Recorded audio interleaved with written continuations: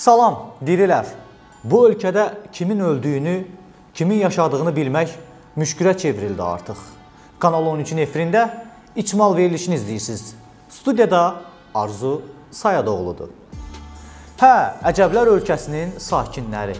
İqtidarınız öz yanlışlarına fors qazandırıb Əcəbistana çevirdi Azərbaycanı. Biz burada sizə xortdanlarınızdan, xoxanlarınızdan danışırıq, dəyərli izləyicilər. Sizdən önəmli bir xahişimiz olacaq. Bu verilişi mütləq şəkildə sonacan izləyin və fikirlərinizi bildirərək paylaşımlarınızla bizə dəstək olun. Bu gün son cümləsinə qədər zövq alacağınız bir veriliş olacaq. Bunu tam məsuliyyətlə bildiririk sizə.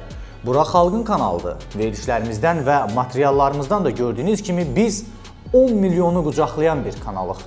Millətə doğruları söyləyən, hər kəsə gəl deyən bir media. Xalqın gözü tərəzidir deyiminə tam inanırıq. Bu tərəzidə dəstəklərinizlə hakimiyyətdən daha güclü olduğunuzu isbat edin. Arada özümə sual edirəm. 100 il öncə dünyada az sayda demokratiyalardan birini qura bilən, yaradan çoxlu sayda dövlətlər quran bu xalq niyə bu günlərə qaldı?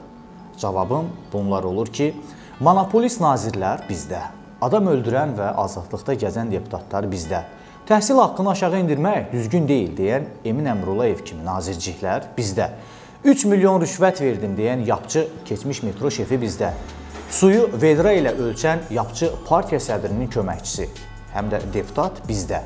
Taksiyə ancaq varlılar minməlidir. Taksini gündəlik istifadə olunan nəqliyyat vasitəsinə çevirmək doğru deyil deyən Bakı Nəqliyyat Agentliyinin rəsmisi bizdə. Xalqa 36 manat böyük puldur. Bizdən xərcləməyin deyən komitə sədri bizdə. Əli Həsənov nəzərdə tuturam. Məhkəmədəki çıxışında 400 min manat paket aldığını deyən nazir bizdə. Ermənilərlə eyni istəkdə olan əskər ölməlidir, çox da şişirtməyin deyən Azərbaycan hərbçisinin ölməsini istəyən yapçı keçmiş millət vəkili Hadı Rəcəbli bizdə. Xalq 180 manata yaşamağa öyrəşməlidir deyən yapçı parlament sədrinin mavini bizdə. Antirusiya mövqeyi tutmaq səfehlikdir deyə Fazil Mustafa kimi deputatçıqlar bizdə.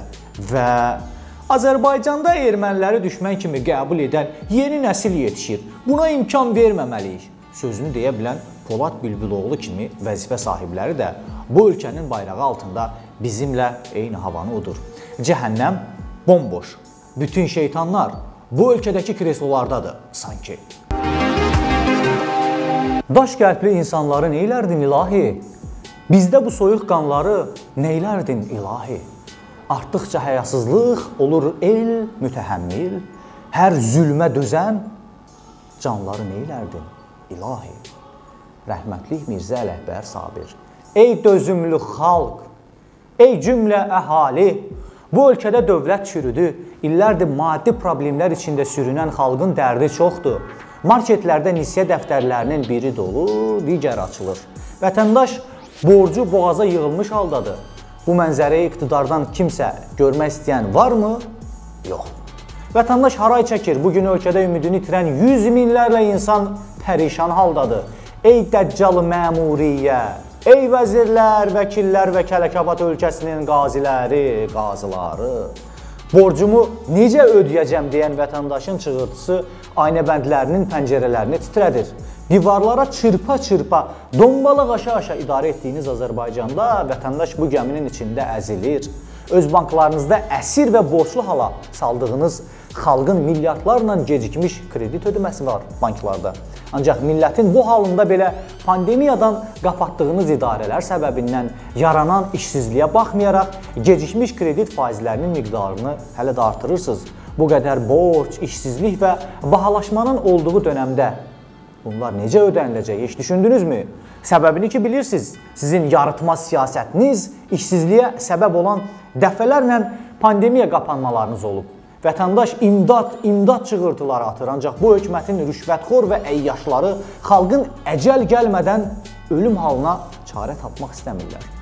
Bu ölkənin ailələri sosial problemlər səbəbindən canına qıyarkən, kəndli və əkinçinin torpaqları susuzluqdan Afrika yarğanlarına dönərkən, əlindəki son məhsulu xarab olarkən siz qızıl, brilliant, villalar və əmlaklar dərdindəsiz.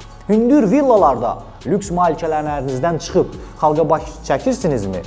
Və çəksəniz kirayəsini verə bilməyən neçə ailələr, övladını oxuda bilməyən çoxlu sayda atalar, bişirməyə yemək tapmayan anaları görəcəksiniz. Biznesi batan sahibkarları görəcəksiniz.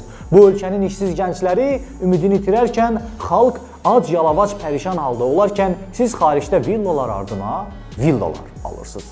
Niyə? Nə səbəbi onların izahatını bu xalqa vermirsiniz? Xalq işıq, su, qaz, ərzaq və internet kimi borcların məngənəsində əzilir. Vergilər ilan kimi boğazına sarılıb. Xalqı boğaraq ölümə məhkum edir ancaq administrasiyanın əbləhləri, əvanələri öz zövqü səfalarını sürdürməkdədirlər. Dövlətə 30 ildir vergi verən bu xalqı 30-ca gün dolandıra bilmədiniz bu pandemiya dövründə. Çünki bacarıqsızsınız. Çünki bu ölkədə hələ də doğulmamış körpələri belə indidən xaricilərə borclu hala gətirmisiniz. Gələcək nəsillərinin belə borcla doğulacağı bir Azərbaycan qoymusunuz.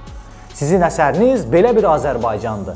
Millət sizə intiharları ilə, canı ilə etiraz edir. İnsanlar yoxsulluq və yaratdığınız sosial problemlər ucbatından ucaltdığınız kahkeşanlı yaşayış binalarından özlərini yerə atıb intihar edirlər. Kahkeşanlı binalarınızdan. Özlərini yerə atmaqla canlarına qəsd etməyi bu cür yaşayışdan daha üstün tuturlar. Beləcə o binalar yaşam deyil, xalqın ölüm maşınına çevrilmiş olur sayənizdə. Biləsiniz ki, yürütdüyünüz bu siyasətin adı qəsbdir, oğurluqdur, quldurluqdur və cinayətdir. Dəyərli dostlar, sərvətlərlə zəngin bir vətənimiz var. Bu ölkə intiharlar ölkəsi deyil, iftixarlar ölkəsi olmalıdır.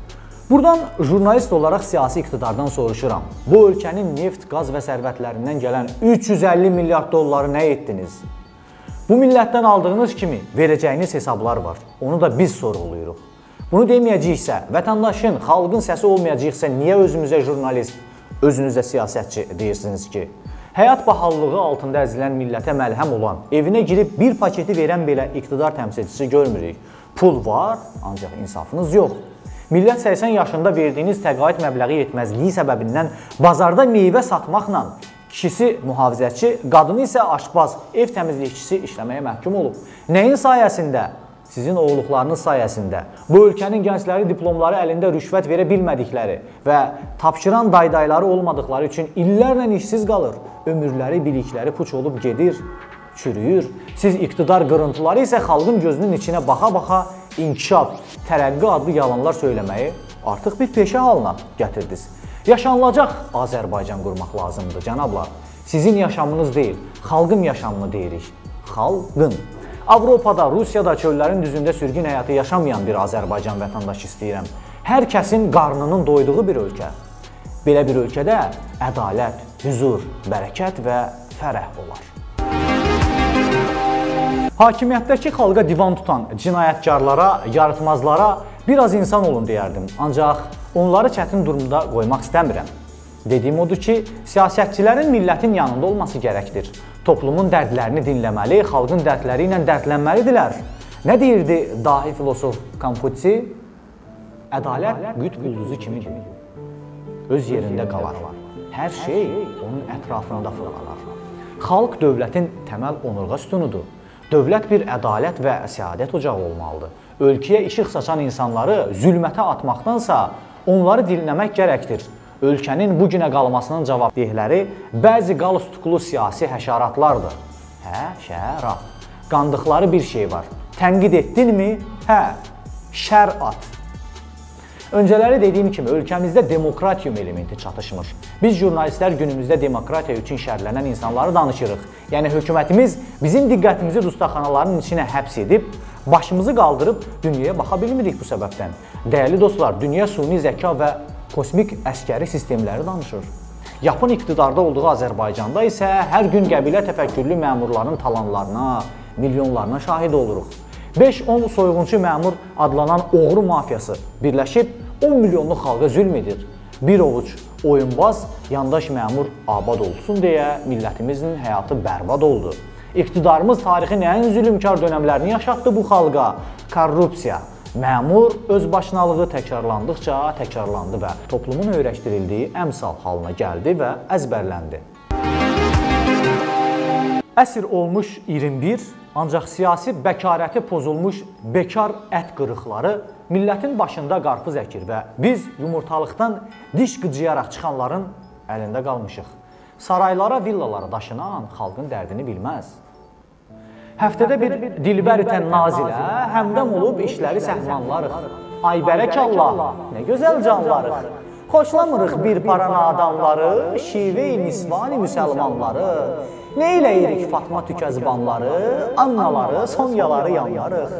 Ay bərək Allah, nə gözəl canlarıq. Mirzə Rəhbər Sabir, Allah rəhmət eləsin. Əgər bu ölkənin naziri rus modellə eşq macərası, eşq işrət yaşayıb ona milyonlar xərcləyirsə, deputatı vəkilxanada əyləşmək üçün 500 min rüşvət verdiyini etiraf edirsə, diplomat səfir təyin edilmək üçün 1 milyon rüşvət ödəyirsə, digər bir millət vəkili milləti it sürüsü adlandırırsa, başqa bir parlament vəkili Facebookda olanların hamısı avara adamlardır deyə xalqı avara adlandırırsa və başqa bir parlament deputatı millət vəkili vəsiqəsini girov qoyub alver predmetinə çevirirsə, deməli bu insan sabah millət vəkili vəsiqəsi kimi milləti də zaloq qoyub pul qazanar. Necə ki hakimiyyətlə millətin səsini alver edib susmaq üçün parlamentdə əyləşdirildisə, eynisi ilə bunu da edər. Yazıq, günah deyilmi bu ölkəyə, bu xalqa? Azərbaycanda bir dənə kişi var. O da bizim prezidentimiz. Bəli. Vəssalam. Əgər Hacıbala Abutalibov millətin önündə bu açıqlamalı verdikdə ölkədə ətalət və sükut repressiyası yaşandısa, nə deyək? Kim nə deyər bizdə olan qeyrətə? Valla qeyrətimiz bəllidir hər millətə. Rəhmətlik Mirzə Ələkbər Sabir demişkən və ya kişilərlə dolu olsaydı əgər ölkə nə qəm, kişilər qeybə çıxır, ölkə papaqla doludur. Rəhmətli Baba Pünhan. Necə düşünürsüz, dəyərli izləyicilər? Ədiblərimiz haqlıdırlarmı?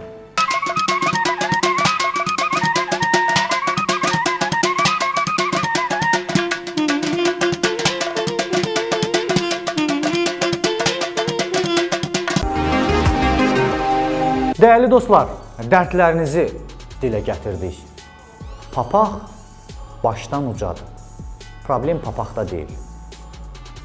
Başladı.